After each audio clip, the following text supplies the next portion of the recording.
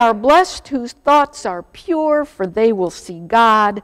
They are blessed who work for peace, for they will be called God's children. They are blessed who are persecuted for doing good, for the kingdom of heaven belongs to them. Here ends our reading for this day. Thanks be to God.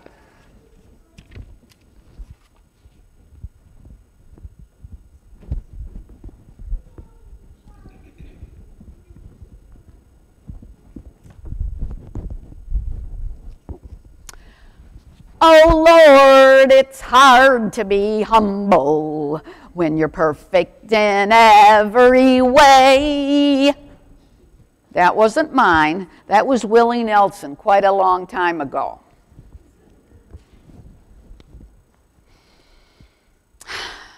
Once there was a lion.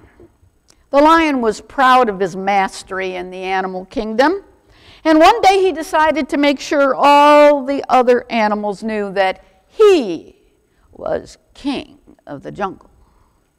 He was so confident that he bypassed the smaller animals and went straight to the bear. Who's the king of the jungle? The lion asked. And the bear replied, Why, you are, of course. The lion gave a mighty roar of approval. Next, he asked the tiger, Who's the king of the jungle? The tiger quickly responded, Everyone knows that you are a mighty lion. Next on the list was the elephant. The lion faced the elephant and addressed the question who is king of the jungle? The elephant immediately grabbed the lion with his trunk, whirled him in the air five or six times, slammed him into a tree, and then he pounded him into the ground several times, dunked him underwater in the nearby lake, and finally dumped him out there on the shore.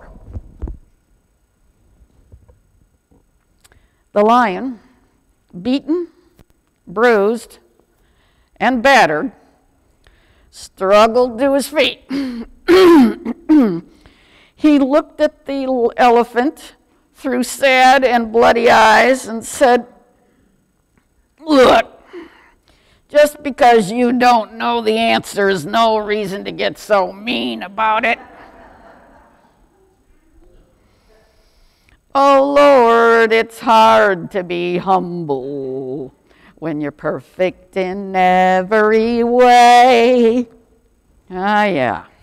How many of us often live with that kind of self delusion?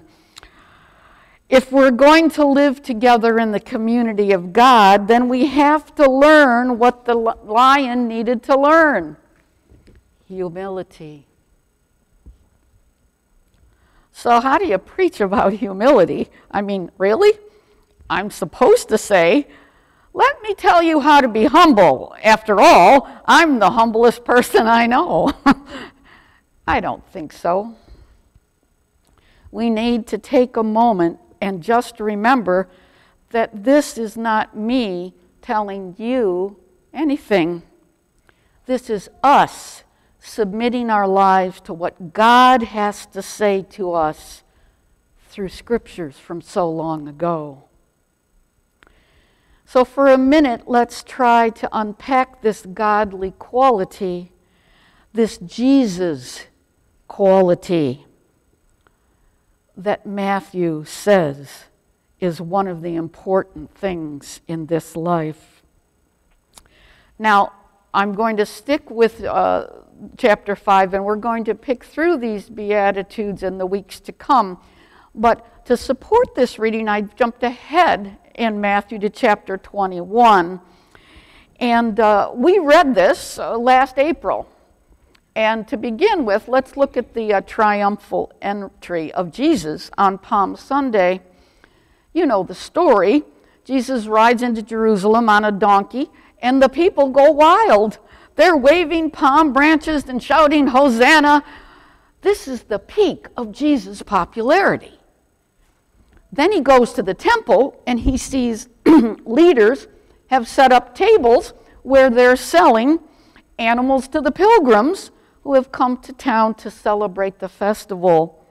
They're basically extorting the poor and making a profit out of religious goods.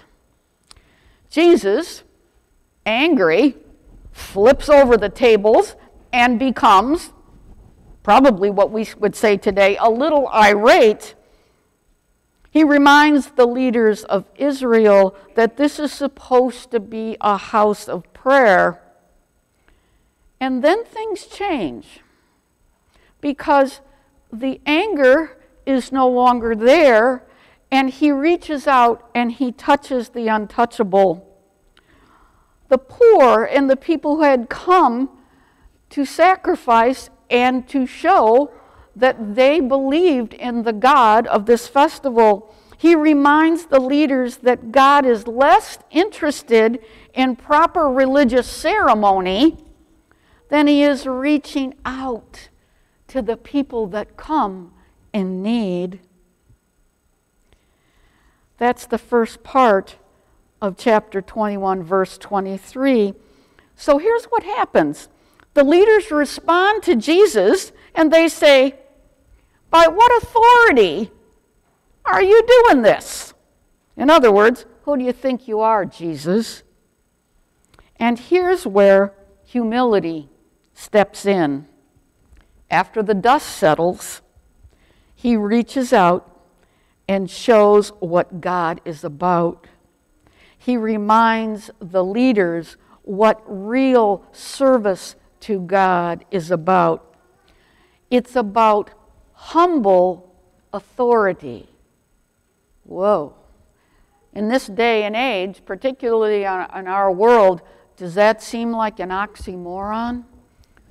Humble authority. Folks, just look at the life of Jesus. As particularly for three years, he came to teach them and us that it is possible to be humble and still be a figure of authority. It's about humility which creates love and respect.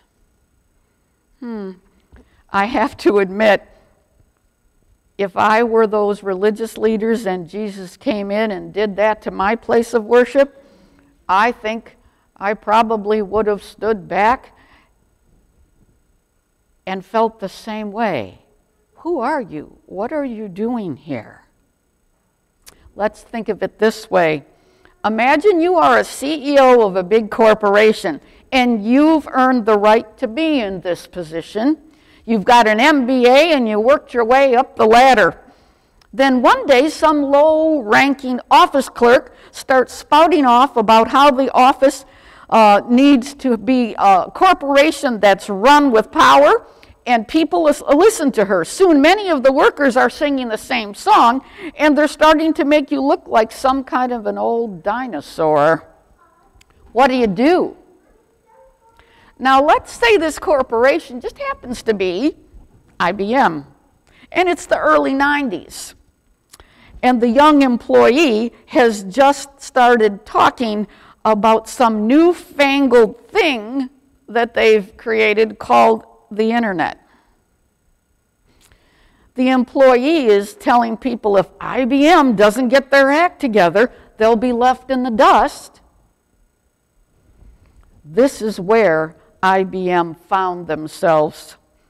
They faced a choice protect their authority and power as a big corporation, or listen to this low ranking nobody and change perspective.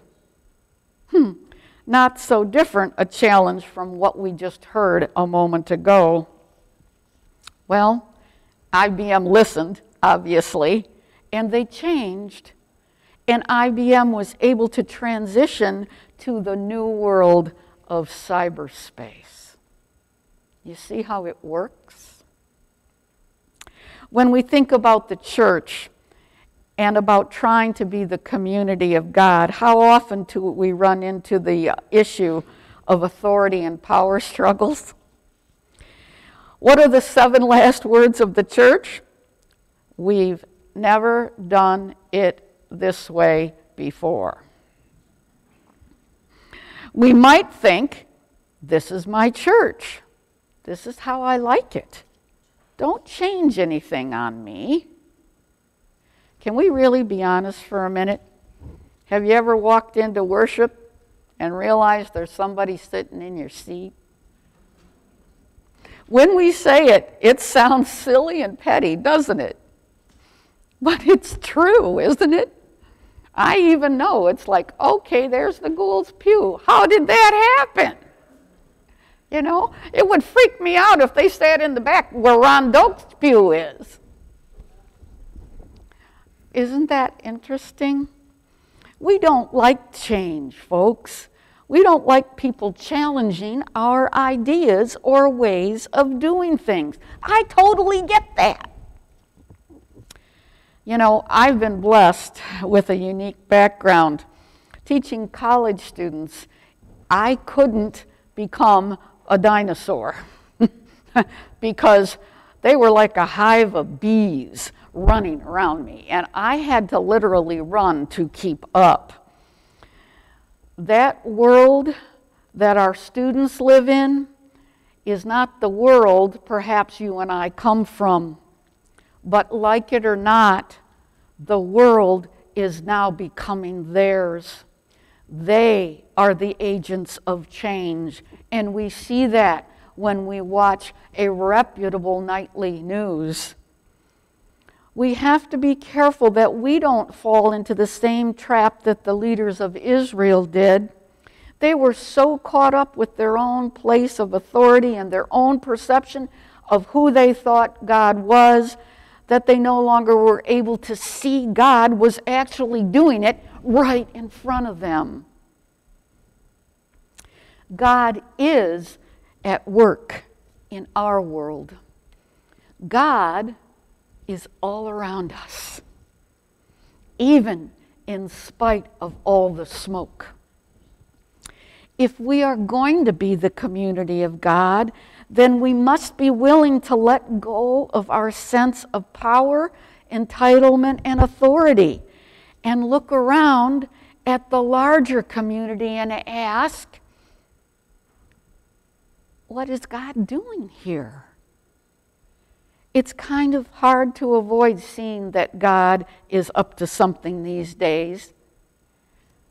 Pandemics, floods, Black Lives Matter. I guarantee that just like radical Jesus causing a ruckus in the streets of Jerusalem, whatever God is doing, it's pushing the boundaries. As you can imagine, the leaders of Israel weren't too excited about this. So Jesus goes on later in the, ta- uh, the chapter into verse 28 to demonstrate what he's getting after by telling them a parable about the two sons. You know the story. And I'm going to pause there this day so that you can ruminate about an old story in a series of old ideas that you can see carefully walking among the streets today if you take the time to say, God, what are you doing? Instead of, God, what are you doing? What are you doing to my world, God? Everything is topsy turvy. Remember Jesus? He did get upset.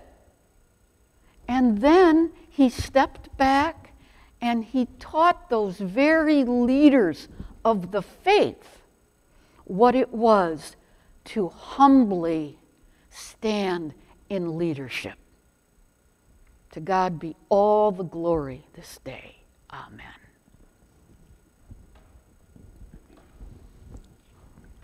Is this new? Oh, yes. All right.